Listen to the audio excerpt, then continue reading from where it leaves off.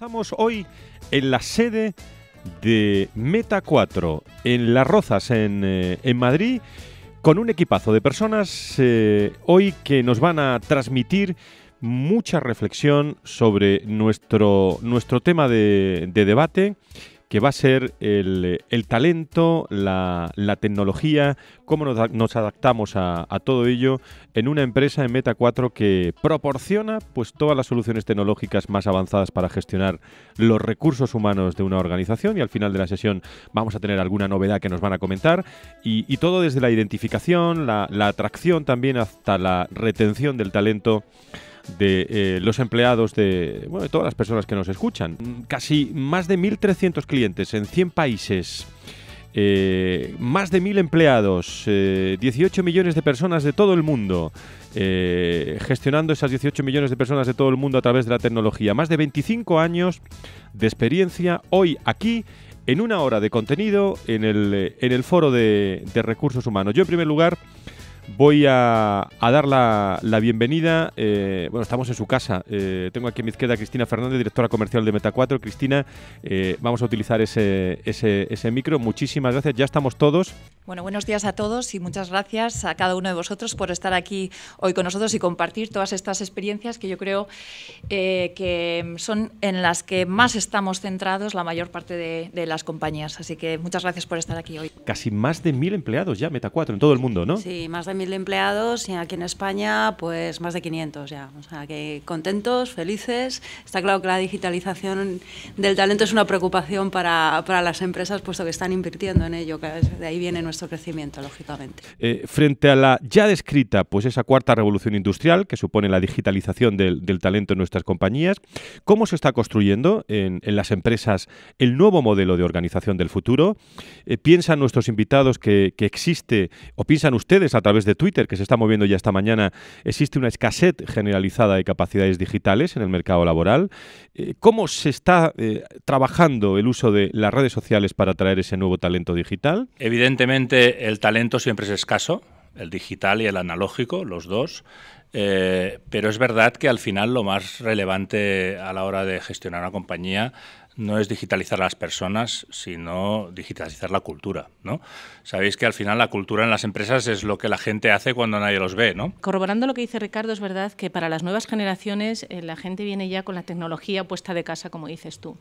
Pero el gran reto que tenemos los eh, departamentos de recursos humanos es que tenemos que adaptar la cultura interna para que una vez que atraigamos este talento joven, consigamos retenerles dentro de la organización. Y aquí es donde entra en juego lo que siempre digo yo que es más relevante incluso que la tecnología, que es la cultura. Esta transformación cultural hemos vivido mucha, pero probablemente la gran diferencia de, esta transforma de este momento es la velocidad de cambio y la cantidad de cosas que están confluyendo en ciencia, uh -huh. en tecnología, un montón de avances que hay que incorporar. Y por tanto, nosotros no podemos decir necesitamos eh, trabajar más el Big Data, vamos a contratar 50 personas. No, tenemos que contratar dos y desarrollar capacidades internas a toda velocidad. Por tanto, es otra palanca fundamental. Nosotros, en nuestra realidad, somos una empresa de más de 300 años correos, con lo cual eh, la identificación del talento para nosotros es fundamental. Eh, piensa que nosotros hemos llevado un proceso de transformación brutal en el que nuestros cerca de 52.000 empleados bueno, uh -huh. pues, trabajaban en procesos que, que, eran más dedicados al sector postal tradicional y de repente, pues con todo el surgimiento del boom del e-commerce, hemos tenido que cambiar y adaptarnos a las soluciones que nuestros clientes demandaban, soluciones digitales y soluciones tecnológicas. Eh, el storytelling de la organización va mucho pegado a la, a la cultura, ¿no? de eso hablamos mucho en comunicación, pero qué importante también que desde arriba desde el medio, desde abajo, eh, estas historias eh, se puedan contar. Con eso eh, quiero afrontar la, recta final de este, de, este debate, porque tiene que ver mucho también con el entorno de la cultura, con el, el entorno digital, pero me gustaría mucho que comentáramos un poco tu, visión de, cómo están haciendo, cómo ves las empresas que están haciendo todos estos temas. Que los proyectos de transformación digital lo que ayudan es a, a, mejorar el compromiso de los empleados en las organizaciones. Sí que es verdad que eh, la mayor parte de de las compañías están haciendo cosas dentro de este ámbito, utilizan tecnologías, eh, redes sociales, utilizan soluciones cloud, utilizan dispositivos móviles, utilizan ya proyectos y tienen proyectos de gestión de, de, mm, eh, gestión pues de analíticas. Pero sí que es verdad que cada vez estamos viendo que están en una línea de intentar definir una estrategia de transformación de recursos humanos. Es decir, hay que eh, tener eh, un punto de contacto con el candidato, hay que tener un punto de, candidato, de contacto con el, con el nuevo empleado, un punto de contacto con eh, toda persona que pueda aportar dentro de nuestra organización. Y yo creo que eso es un poco la clave de la, de la transformación digital, el que consigamos mm, estar preparados para lo que venga, no solo ahora, sino en el futuro.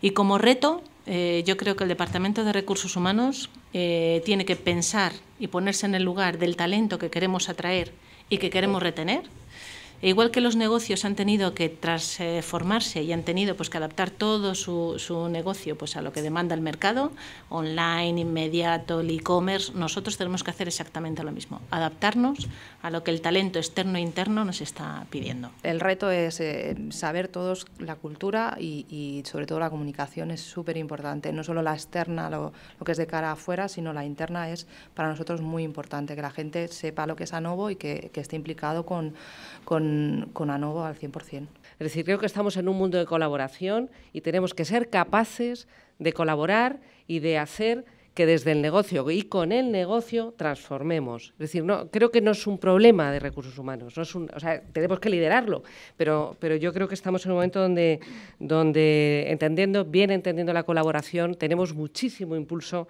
para ir adelante. Hombre, yo desde el punto de vista de recursos humanos el reto es enorme, mayúsculo, uno de los más importantes que eh, se han tenido yo desde que peino canas, que hace muchos años ya pues y que estoy en el mundo de recursos humanos, yo creo que es el gran reto.